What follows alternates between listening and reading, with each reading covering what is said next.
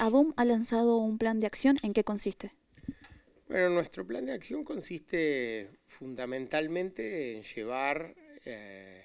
nuestras demandas, nuestras propuestas, nuestros debates al conjunto de la universidad, al conjunto de la comunidad universitaria y también a la sociedad. Eh, estamos atravesando periodos turbulentos, diría yo, lo hemos vivido en otras épocas, pero en este momento tenemos dos grandes temas. Por un lado, la inflación, la necesidad de tener que contar con paritarias, el reclamo para una nueva paritaria, sobre todo después de que se produjo una devaluación de la moneda y eso se traduce en incrementos mayores en, un conjunto de productos. Eh, entonces el reclamo es, queremos a principios de septiembre una paritaria en la cual además discutamos allí qué hacemos con este bono que se ha anunciado, que en principio si es bien recibido, si, si así llega, pero queremos que, eh, discutirlo en ese marco. Y lo segundo es lo que nos preocupa y ocupa en este tiempo, luego de estas también elecciones presidenciales eh, en las primarias abiertas, en la cual eh, algunos de los candidatos más votados tienen propuestas que son absolutamente negativas para todo lo que pensamos y trabajamos en una universidad pública como la nuestra. Eh, y pensamos que eso lo tenemos que discutir en las clases con los estudiantes y por eso esta modalidad de lucha que no es un paro, es sigamos con las clases,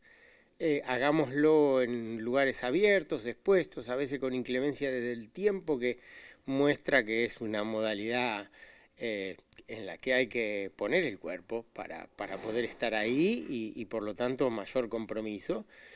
pero que ahí también se discuta qué es lo que pasaría si esas ideas se implementan.